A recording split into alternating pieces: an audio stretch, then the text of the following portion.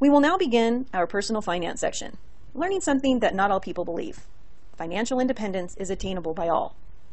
By building a strong foundation based on goals from personal values and objectives, creating a disciplined monthly savings plan, and reviewing your progress annually to achieve your goals. This course is designed to empower students to make the best financial choices early in their income producing years, offering the greatest potential for financial growth. Youth is on your side.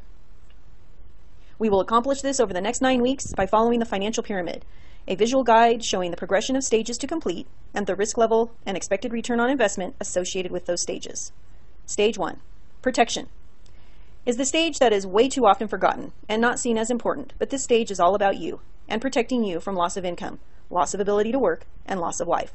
Without this stage, all other choices are weak, making future financial choices a much higher risk. Stage two, regular savings. This is the stage where most people start their financial plan with minimum savings goals for emergencies and vacations and to focus on tax advantage, tax deferred, or tax free investments such as buying a home, college, and retirement accounts. Stage three, growth and diversification, also known as wealth accumulation. This is an extension to the second stage. Now your investments are taxable and have a potential for much greater return on investment along with its associated higher risk. Stage 4, speculation, is very risky and should equal a maximum of only 5% of your total assets. This stage occurs once you have reached a level where your debt is low or zero and you have enough retirement funds and enough wealth accumulated in your prior investments. Stage 5, wealth distribution.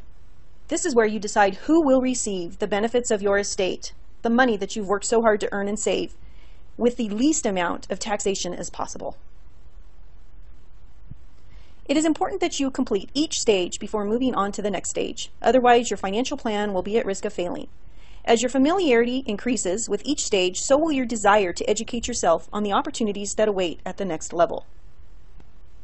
At the end of this section, students will be able to set short and long-term goals, confidently use banking services and products, create and implement a budget, use credit and borrow money responsibly, protect their financial rights and safeguard their money, determine readiness to buy a home, understand investment options, understand taxes and wealth distribution. Let's get started.